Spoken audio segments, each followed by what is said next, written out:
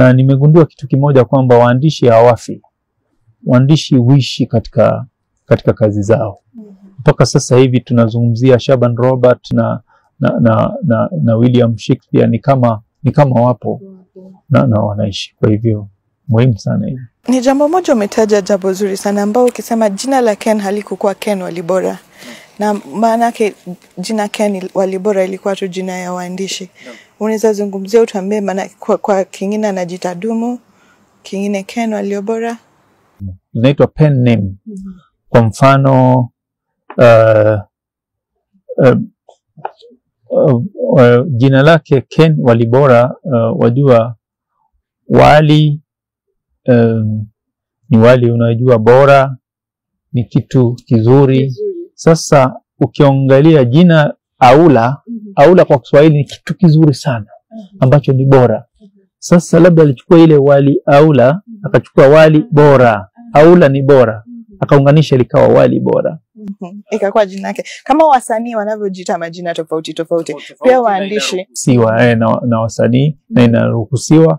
Kwa mfano simkumbuki mwandishi huyo, ila eh, kwa kweli jina lake lilikuwa ni la kiume, ila alikuwa mwanamke eh, maanake ni pen name zinaitwa. Hata unaweza kujiita mara tatu eh, jina tofauti. mengi amesemwa kuhusu Ken Walibora na kifo chake. Hapa nimekuja kumuuliza rafiki yake ambaye alikuwa karibu sana kwamba yeye alisikia kivipi kifo chake Ken na aliweza kufanya nini baada ya hapo. Karibu sana mheshimiwa daktari. Haya, sawa. Wewe ulimjua kivipi Ken? Ah, kwa kweli Ken eh, tumefahamiana naye kwa muda mrefu sana eh, kwa miaka ambayo inaweza kukaribia hata ishirini hivi. Eh, tuseme ni kama kumi na saba.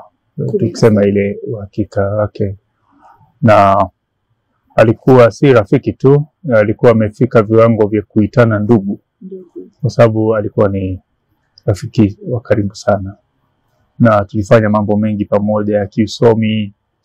Na ilifikia wakati ikawa misimamo yetu kuhusu maisha na falsafa zetu kuhusu jinsi mtu anavyotazama maisha na kujikuza na kujiendeleza vikawa vinaingi, vinaingiliana.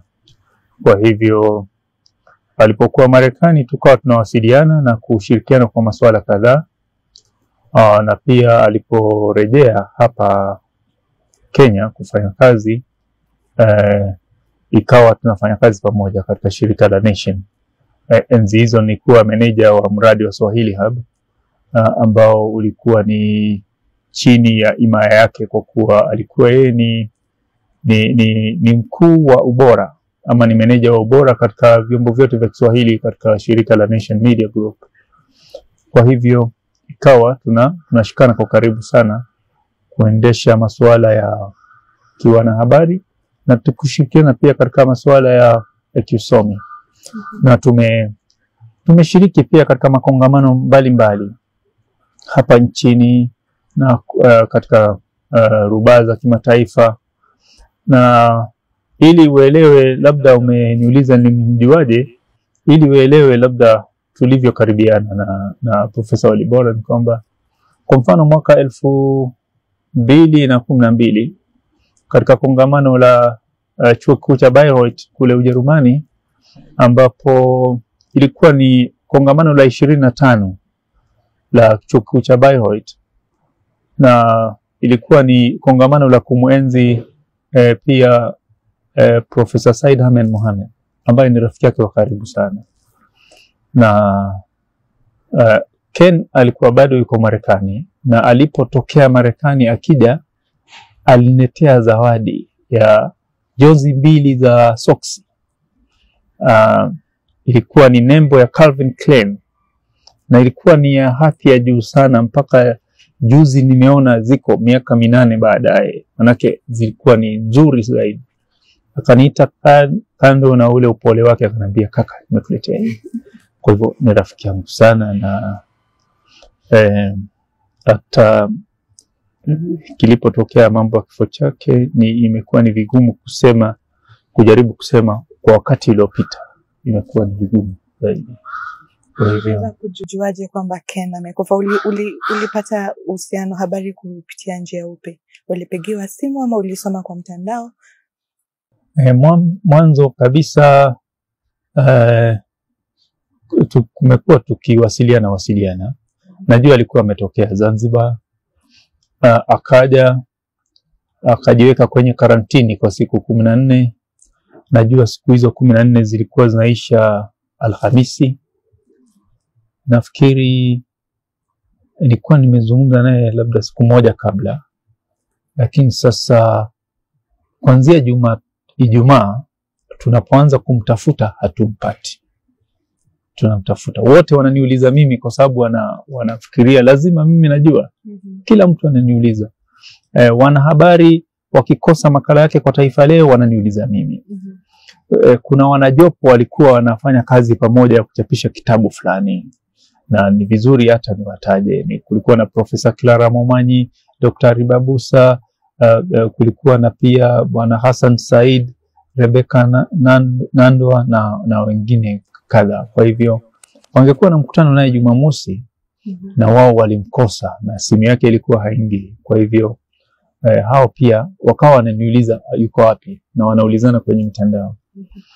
Sasa wajua, kutoka juma Ijumaa hakuna mtu amepiga simu ya Ken ingie. Si Ijumaa ilikuwa ni Ijumaa ya Pasaka, wikendi yote hiyo ya Pasaka mpaka Jumatatu. Jumanne tuliporaukia kwenda kazini, ndipo sasa tukaanza kuulizana peupe. Sasa wikendi nzima Ken hatujamuona. Je, wewe unajua yuko wapi? Nikamwambia mimi sifahamu. Wakaniuliza hao wahariri, hata makala yetu hajaleta, angeleta jana Jumatatu. Sasa Uh, sijui tu, tu, uh, kuna nini? Waliniuliza kama nafahamu kwake, nikamwambia bila shaka huyu ni mtu tunahusiana kwa karibu mno, kwa hivyo nafahamu kwake tu. Wakati huo nilikuwa sitaki linitie dharura swala hilo, kwa sababu nilikuwa na matumaini kwamba labda kama simu imezima tutampata.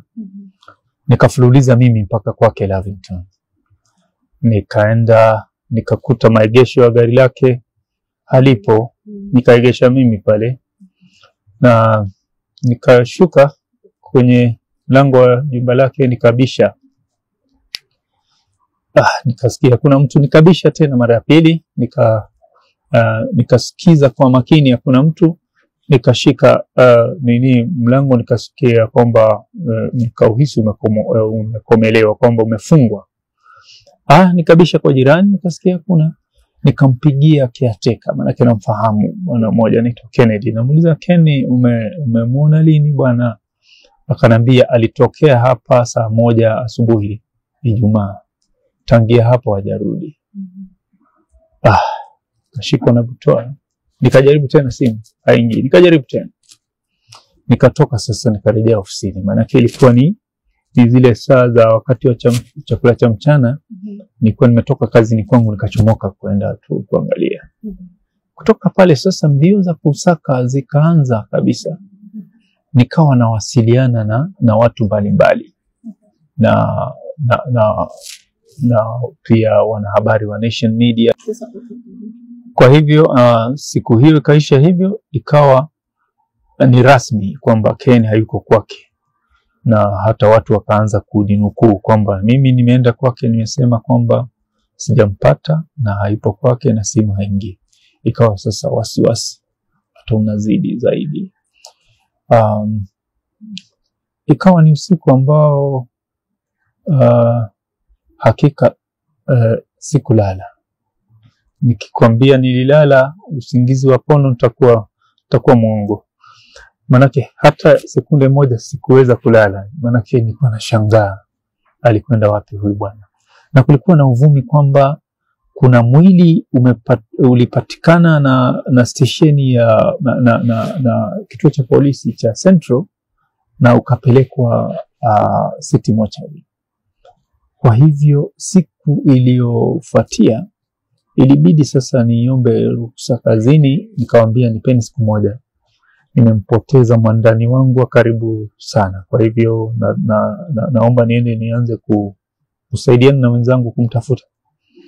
Ah, wakanipa ruhusa siku moja. Kwa hivyo asubuhi ya siku hiyo ka, karibu saa Jumanne. Jumanne. Karibu saa kumi na mbili unusu nilikuwa tayari e, e, nakaribia, niko mjini tayari, naingia kituo cha polisi. Pale, nakuta ndipo wanajitayarisha tayarisha gwaride, wanaongoza maombi, wanafanya nini. Kitu cha kwanza nili, niliingia kwenye maegesho yao nikiwa napiga e, tochi macho nayangazangaza angalau nione gari lake, maanake uvumi uliokuwa una, unaendelea ni kwamba lori na gari lake vivigongana eh, kwenye ajali. Sasa nikawa natafuta silioni, hata nilipokuwa natafuta mahali pa kuegesha langu ndio nirudi kwa kituo cha polisi, nilikuwa hata siangalii tena mahali pa kuegesha, nilikuwa naangalia kama nitaliona gari la Sikulipata. Uh, ikawa inanipa wasiwasi zaidi, nikaegesha nikashuka. Uh, nilikuwa natafuta uh, OCPD wa pale, maanake hata nilielezwa jina lake na nini, nikaambiwa OCS ndio yupo atakueleza kuhusu huo mwili. Nikaenda akaniambia kuna mwili pale eh, akaniambia stesheni hii katika wiki nzima, wikendi nzima hii tumepata mwili mmoja tu nao ni mtu ambaye hajulikani, unknown adult male, ambaye unknown African male ambaye hajulikani na yuko City Mortuary, nambari hii, akanipa nambari. Sasa maanake nilikuwa nimeshtuka kwelikweli. Sasa nikapita kwenye ofisi ya trafiki nikoelekezwa ili waniambie kama kuna ajali. Wakaniambia kuna afisa mmoja akaandamana na mimi, maanake aliona nilivyoshtuka tukaenda kwa gari langu tukaingia City Mortuary pale, tuka tukaambiwa mwili nambari hiyo mnaotafuta ulioletwa hapa na polisi, njooni tukuonyesha. Tukaingia tukaangalia, tukaona si hata ikanivunja moyo zaidi. Hapo ndo msako uli, uli, ulianza. Wakati huo napigiwa simu kila aina anaambiwa je, je, jana ulienda kwake ulikuta nini? E, nasikia umeenda kutafuta mwili umeupata. Nikasema ndio, lakini sie tunafuatana fuatana tu. Sasa e, yule polisi tukawa tunashauriana, maanake aliona nilivyokuwa nashtuka, tukawa tunashauriana. Akaniambia sasa e, inabidi sasa tujaribu kama ni station tofauti, lakini mwanzo tukimbie mpaka Nairobi area. Tukaenda kituo cha Nairobi area tuka tukaangalia katika orodha ya uh, vile vifo vimetokea kwa sababu ya ajali, kwa sababu wanayo orodha vizuri tu. Tukakuta ofisa mmoja pale akatupa, tukaangalia kutoka tarehe tisa, kwa sababu alipotea tarehe kumi, tukaanza tarehe tisa ili tuone inavyofuatana. Naangalia gari na jina la mtu, gari na jina la mtu, wakati huo sioni. Na hapa kwa nini mnaangalia tu ajali? Hakuna kwa sababu uvumi ulikuwa unaelekeza katika ajali. Maanake tayari mimi nimeona um- ule mwili uliookotwa, nikauliza mliokota mwili wapi upi e, mliokota wapi mwili? Walikuwa wameokota nyuma ya Norfolk labda ni mtu alipigwa na wezi na nini. Huo mwili sasa wa huyo ambaye tulikuta si kwa hivyo mengine yote yalikuwa yanaelekeza katika ajali, kwa sababu uvumi ulikuwa ni ajali. Lakini nashangaa gari alipo hapa. Tukaenda nikamwambia pale Nairobi area, nipelekeni kwenye yadi. Akanipeleka nikaangalia, sio ni gari yake. Ah, tukaangalia orodha, haiko alipo jina lake, hakuna nambari ya gari lake. Ah, tukashauriana na huyo ofisa, akaniambia sasa twende e, mpaka Kamkunji e, tuangalie labda, kwa sababu ni maeneo ya hiyo jurisdiction, kwa sababu kulikuwa na uvumi kwamba afisa wa Kamkunji alikuwa anashughulika na ajali fulani e, ambaye ni hiyo weekend bado. Mhm. Tukitaka kwenda, tuliompigia hakufahamu mambo hayo, kwa hivyo uh, tukaona sasa tunachoweza kufanya, hakuna mtu labda wa familia. Niliwapigia nikauliza kama msharipoti uh, mtu mmoja wa familia akaniambia bado. Nikamwambia sasa, nikamuita, anaitwa David, ni binamu yake Ken. mm -hmm. Tukisubiri kakake aje, Mhm. tukasema basi tuandamaneni, kwa sababu wewe angalau unawakilisha familia na mimi ni rafiki yake. mm -hmm. Tuendeni mpaka Mudhangari ambapo ni eneo la Lavington alikokuwa anaishi. Tukaenda, kabla hatujafika Mudhangari nikapigiwa simu na yule OCPD mm -hmm. akanambia uh, uliokuwa unamtafuta, nafikiri kuna inspekta mmoja wa Kamukunji anaweza kuwa na habari. Kimbia sasa hivi katika KNH mochari, mm -hmm. sema na huyo inspekta. Basi tukaiacha njia ya uh, Valley Road tukaingia KNH. Mambo ya Msongari Mtangari sasa tukaacha, uh, tukaenda tukafika pale, nikakuta afisa watatu. Afisa mmoja ambaye mpaka sasa hivi namshukuru sana, alifanya bidii kweli kweli, anaitwa Inspekta Mkonambi Matumbufu. Alifanya upelelezi wa kina kweli kweli, manake aliniita kando, walikuwa na mwenzake ambaye alikuwa anaitwa Mohamed, nafikiri ambaye alishuhudia ajali ya Double M ikimpiga mtu na labda akafuatilia hata nafikiri hata walilishika na likashtakiwa na nini ama likaandikisha uh, statement kwa mfano na, na binti mmoja ambaye ni afisa wa polisi pia ambaye eh, eh, ambaye pia alikuwa anashughulika katika kutafuta ambulance. Walikuwa wote watatu. Sasa mimi nikamkabidhi yule inspector, tukaanza kuzungumza. Akamwambia, nyinyi ndio mnamtafuta Ken Walibora? Ndio, nikamwambia ndio.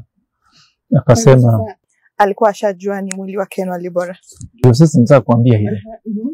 Maanake ilikuwa ni ni hali ya kutatanisha. Mpaka wakati huo, naona kama jinamizi, mimi naona kama ndoto mbaya ambayo itakuja kuisha. Alafu wakatuambia hivi, asubuhi ya Ijumaa eh, alikuwa anavuka barabara, mtu akagongwa na gari na akaletwa eh, eh, uh, hospitalini na uh, alipoaga mwili uko hapa.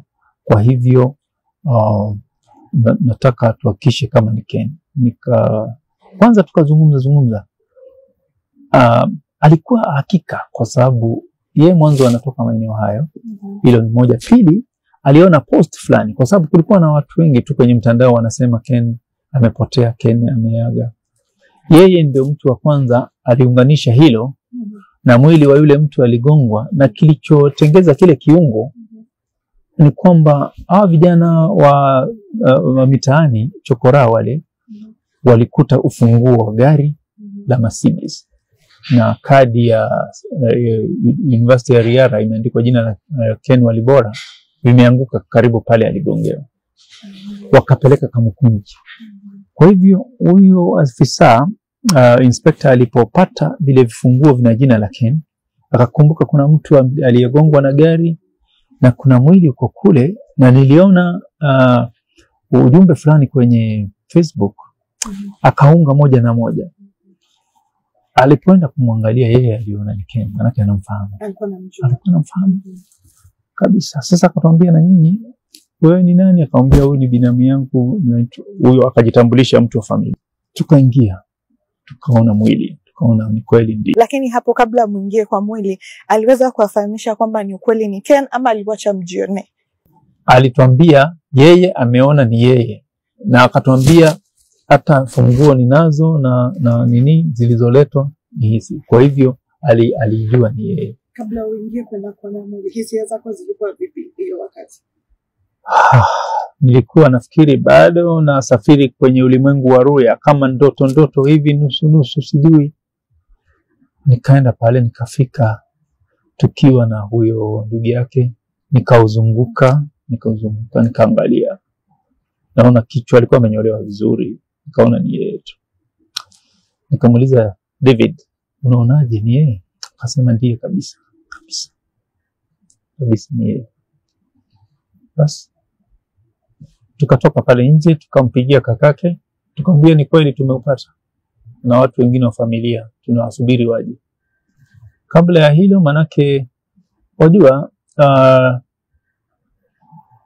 wakati kwa mfano aliaga rais wa Tanzania, watu walisema kwamba wacheni Watanzania waje na raia wote washughulike, kwa sababu huu si msiba wa familia, ni msiba wa taifa.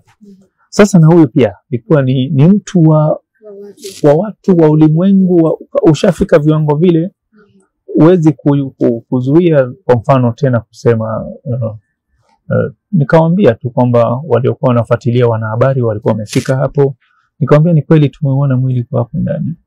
Uh, Uh, kutoka pale sasa watu wa familia wakaja wakautambua na wao, alafu mchakato ukaanza wa kutambua rasmi. Kutambua rasmi inamaanisha kwamba kuchukua alama za vidole na kwenda kuhakikisha katika msajili mkuu, na ilitoka kweli ni yeye. Hapo kulikuwa sasa hakuna shaka. Aa, basi hivi ndivyo ilikuwa, na kwa kweli eh, nilipokuwa natoka pale na na, na, nasubiri masuala mawili matatu, nilikuwa tayari hata anayepiga simu uh, nikikumbuka jambo fulani ambalo lina utata katika kesi nzima, nikawa nakumbuka anaweza kujua hivi ni Ken, karibu nataka kumpigia, nakumbuka ah, kumbe sasa huyu ndio tunamtafuta, ndio yuko hapa, na imetokea hivyo. Hata jana kuna jambo nimekumbuka, nilitaka kuhakikisha kwake, nikashtuka kweli kweli. Hata siku hiyo ilifuatilia, sikulala mimi.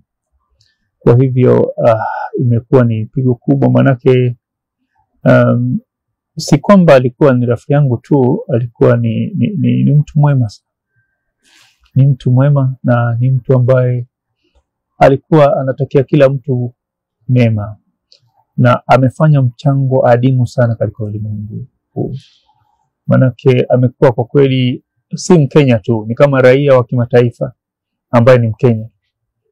Eh, ameandika kiasi cha waandishi ambao walikia mipaka kama kina Robert eh, eh, Shaban Robert, na amekuwa ni kama ndio Shakespeare wa, wa Kenya na Afrika Mashariki, na uh, alikuwa na kipawa ambacho ni adimu mno, manake alikuwa anayaita maneno yanaitika katika kazi zake za kuandika, na akizungumza Uh, maneno yanamkubali kwa njia ambayo ni ya kipekee sana, na mwenyewe alikuwa anasema maneno mateule, maneno matamu.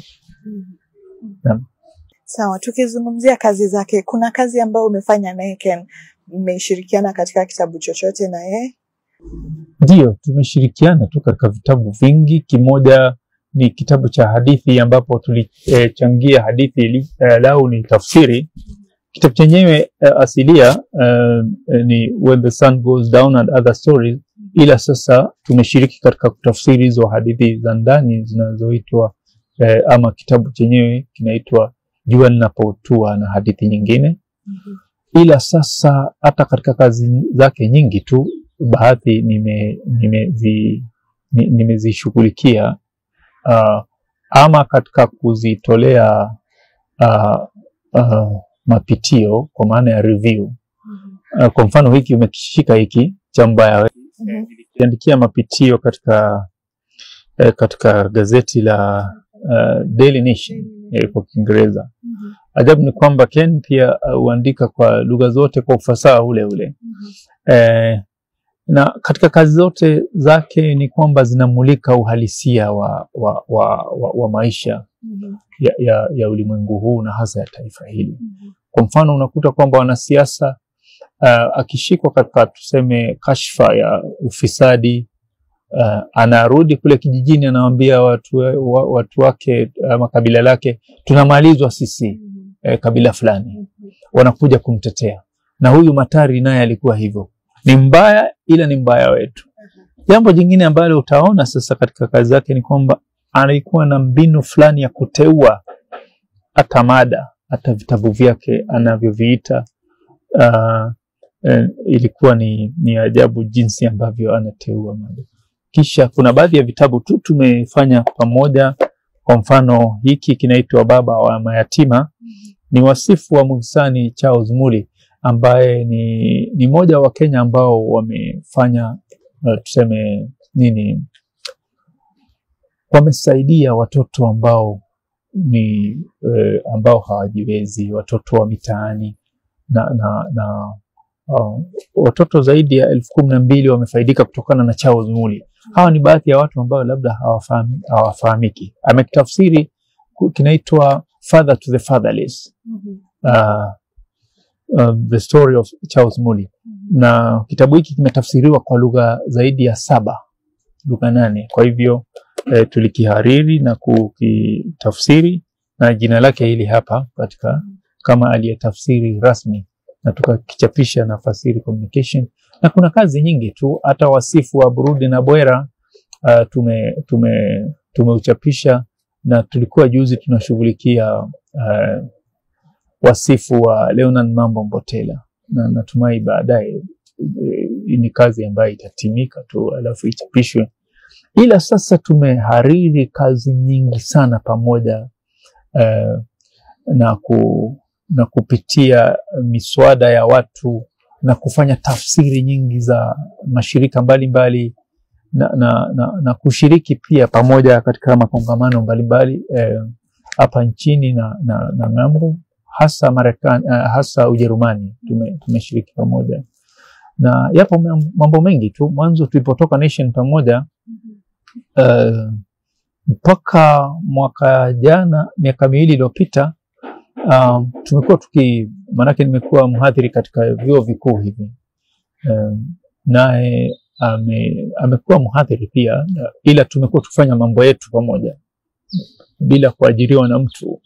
Kwa hivyo uh, mengi hasa si vitabu sana, ila ni katika ku, ila nimekiandikia nime, hiki ambayo ni damu nyeusi ni chake na Said Hamed, nimekiandikia mwongozo nilipokuwa pale e, e, e, katika katika Nation Media, na ukiangalia baadhi ya vitabu vyake, kwa mfano kama nasikia sauti ya mama uh, ni kitabu ambacho kwa kweli ukimtaka kumfahamu Ken una, unasoma kitabu hiki kwa sababu watu wote hawa tunaozungumzia kina adha ndugu zake wote wako hapa mm -hmm. na pia utaelewa ni mtu aina gani. Kwa mfano um, uzuri wa Ken ni kwamba katika kazi zake ana ana anajimulika sana na anamulika mwelekeo wa maisha yake, falsafa ya, ya maisha yake, na um, alikuwa ni mtu wa ajabu manake uh, jinsi anavyoandika uh, uh, na pia wahusika nao wajenga, ukiona anamjenga mhusika mbaya sana, ni kama ni mambo ambayo anawakanya msiende upande huo. Akimuunga, akimunda mhusika mzuri katika kazi yake, mhusika ambaye anakaa kama malaika. Eh, kwa mfano kama uh, uh, kina msanifu Kombo wale Usanifu Kombo ni kuelekeza kitu ambacho kimeenda mrama, hiyo katika siku njema, ambayo sasa hivi imetafsiriwa inaitwa a good day. Na ukiangalia kwa mfano, utakuta kwamba yeye ni mtu ambaye alikuwa anasema wazi baadhi ya mambo. Kwa mfano, katika kitabu hiki ameelezea jinsi alivyokuwa wa mwisho, alivuta mkia, alikokota nanga katika darasa lao ila anaeleza jinsi e, bidii yake ilimfikisha mahali mpaka akatokea nambari sita katika darasa. Kwa hivyo falsafa yake ni anaeleza mwelekeo wa maisha yake, na ukiangalia pia katika ujumbe, kwa mfano Ken akikuandikia email pale chini kuna kitambulisho huja na email ya mtu, utaelewa ni mtu aina gani, kwa sababu naweza kukwambia sijaona kwa miaka yote hiyo, sijaona kama amekasirishwa na jambo ukimkasirisha umfikishe mahali anakwambia nakwambia haya sawa, nishaelewa, na anatabasamu, nakwambia nishaelewa, sawa, tutaona, anaondoka. yeah. Ni, alikuwa ni Kenya. Sasa hiyo email kitambulisho chake kilikuwa um, na sasa hivi nafikiri kiko hivyo kwamba I would rather stick with love uh, hatred is such a heavy weight to bear ndio mm -hmm. Ndio sasa Keni huyo kwamba heri nibakie kwa, kwa, kwa upendo kwa kuwa chuki ni mzigo mzito sana wa kujitwika mie. Sasa huyo ndio Keni namfahamu. Naam. Sasa tukisema kwa vitabu zake vyote, ni kipi haswa ulikipenda zaidi iliweza kuzungumzia kwa hizi vitabu zote umesoma?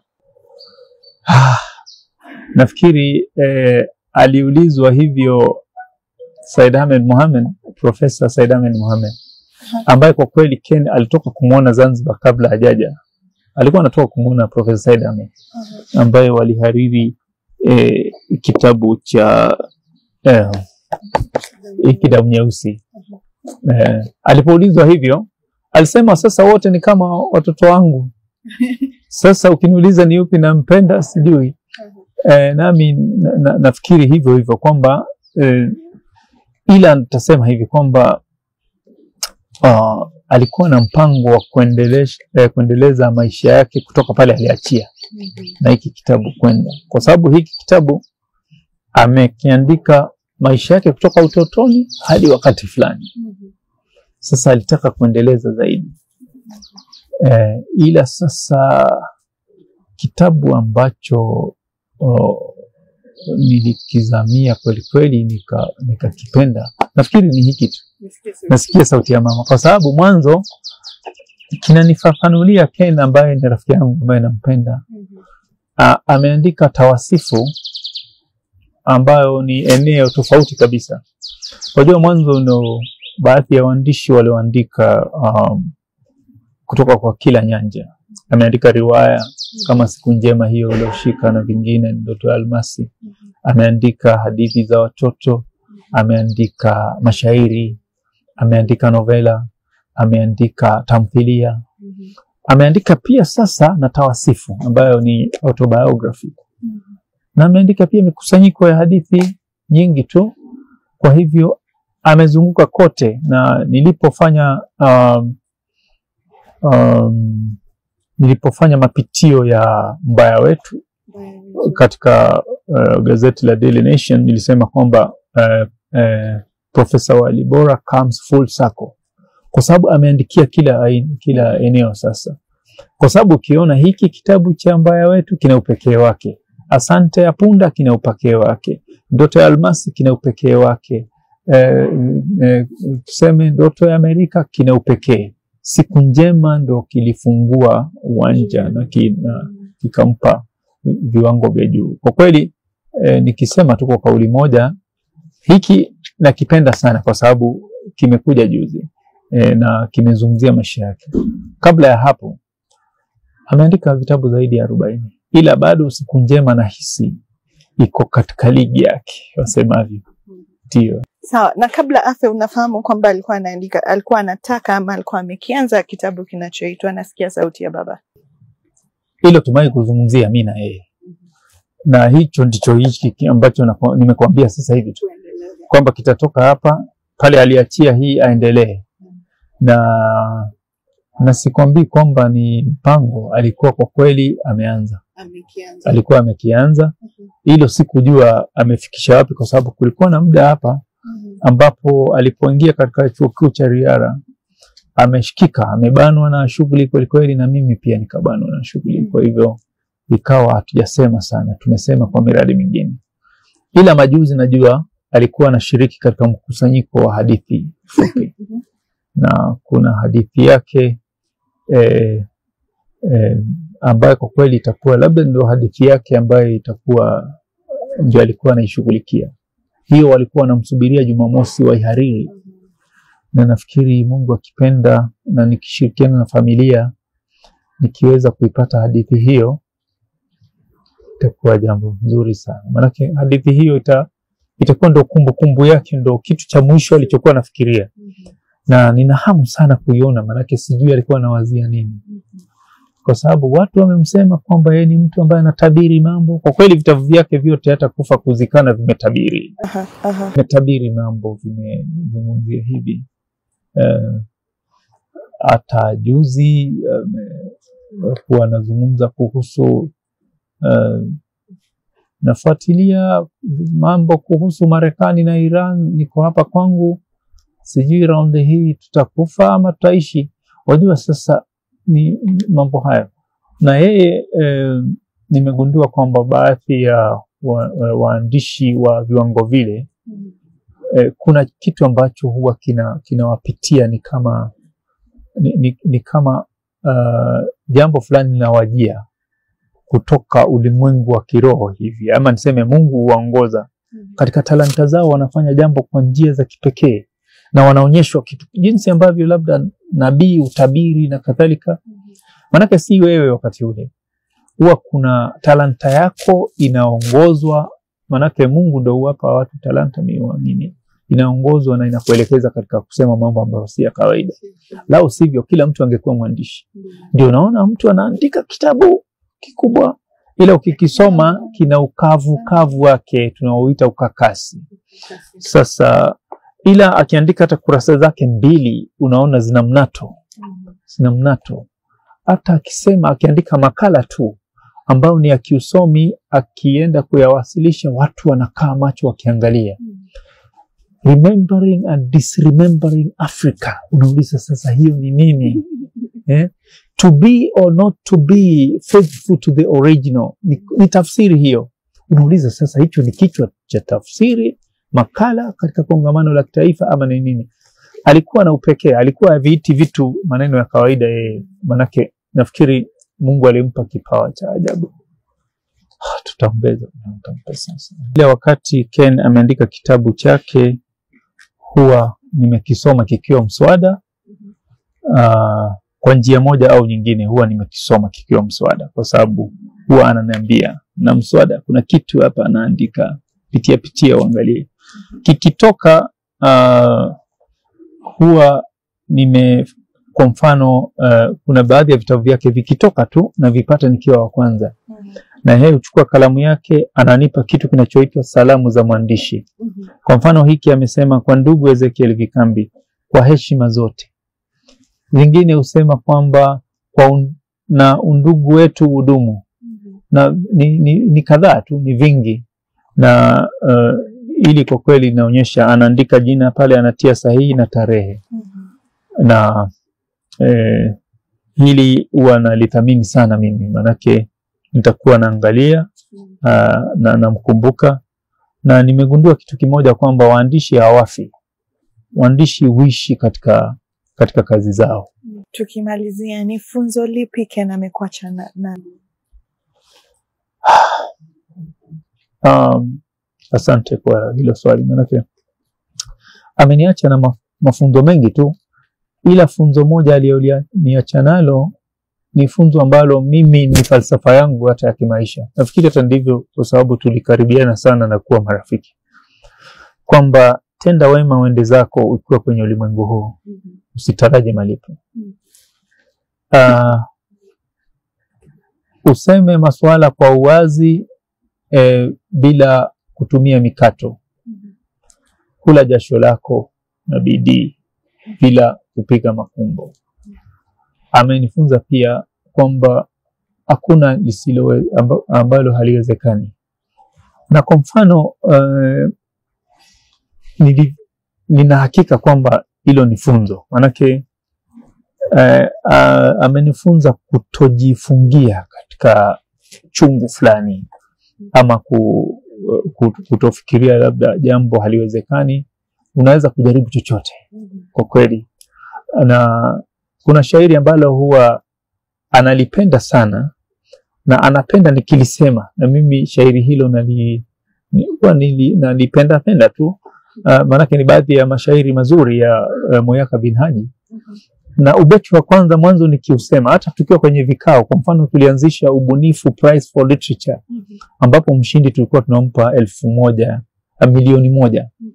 Kwa hivyo katika hafla hiyo akaniambia eh, sasa hivi ni wakati wa kupumzika, toa shairi moja bwana. Nikamwambia nitatoa ubeti moja. Nikizungumza ubeti huo, Ken ufurahi sana, maanake ubeti huo ni kama unaeleza kwamba eh, usijifungie hapa, paa juu zaidi, una uwezo zaidi. Linasema hivi, ndio ubeti mmoja ndio. Uh, uh, linaitwa itakapokutana, na ubeti wa kwanza unasema simba dume na wabuji sikizani nizongoa na ketile vitongoji vya safari za mashua. Leo nakumbuka biji ya kutweka na kutua. Aipato na mpewa itakapokutana ni kumaanisha kwamba enyi mabwana na mabinti nawaambieni hivi e, sikizeni ninavyounganisha uh, maneno yangu kwa njia ya kiufundi zaidi. Nimekuwa nikizoea kwenda na mtumbwi hapa na pale kwenye vijiji lakini sasa hivi nataka kuvuka juu na jahazi yangu kubwa. Pato na mpewa itakavyokutana all the fortune and the fortunate when the two meet together. Nikawa namwambia wewe sasa ndio unapaswa kuambiwa hivyo all talanta na mwandishi vinakavyokutana pamoja. Anakuwa anafurahi sana. Kwa hivyo alinifunza kutojifunga katika kujaribu mambo. Mi unajaribu chochote.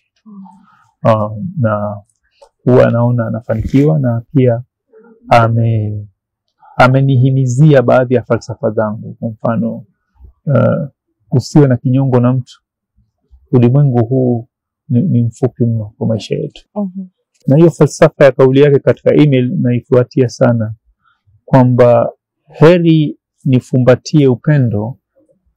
uh, chuki ni mzigo mzito sana wa kujitukamia na Sawa, shukran sana kwa hii. Uh, tunakupa pole katika Channel 7 na Mungu amlaze mahali pema peponi. Shukran sana, asante.